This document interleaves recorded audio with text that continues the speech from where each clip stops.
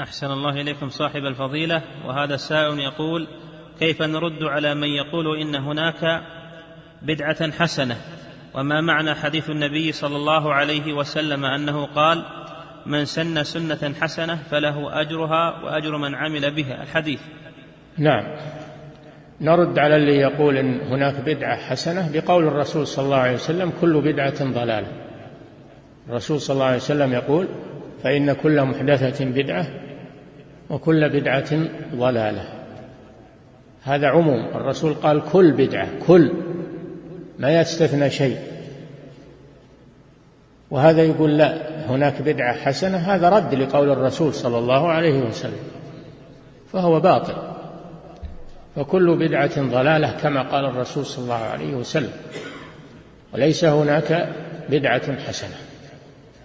وأما قوله صلى الله عليه وسلم من سن في الإسلام سنة قال سنة ما لم يقل بدعة حسنة قال من سن في الإسلام سنة حسنة ما قال من ابتدع في الإسلام بدعة حسنة كما يقول هذا المغرض أو هذا الجاهل.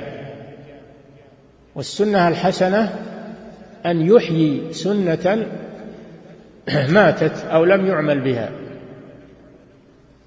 سنة نسيها الناس. نسيها الناس أو لم يعملوا بها فجاء إنسان وأحياها وعمل بها. هذه هي السنة الحسنة. والحديث له سبب وهو أن الرسول صلى الله عليه وسلم حث على الصدقة لمناسبة أناس جاءوه ظهر عليهم الفقر والفاقة. فالنبي صلى الله عليه وسلم حث على الصدقة لهؤلاء. فجاء رجل معه صرة من الذهب. معه صرة من الذهب. كادت يده أن تعجز عنها فوضعها بين يدي النبي صلى الله عليه وسلم. فسر النبي صلى الله عليه وسلم بذلك. ثم تتابع الناس لما رأوه تتابع الناس بالصدقات. فعند ذلك قال النبي صلى الله عليه وسلم من سن في الإسلام سنة حسنة. هذا الرجل سن سنة حسنة.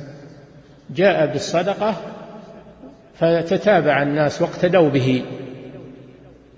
هذا هو الأصل الحديث. وهذا ليس بدعة هذا سنة. الصدقة على المحتاجين هذه سنة. ليست بدعة كما يقول هذا. نعم. فالمراد من سن سنة حسنة يعني من أحيا سنة. قد نسيت أو ترك العمل بها ثم أحياها هذا هو الذي سن في الإسلام سنة حسنة. نعم.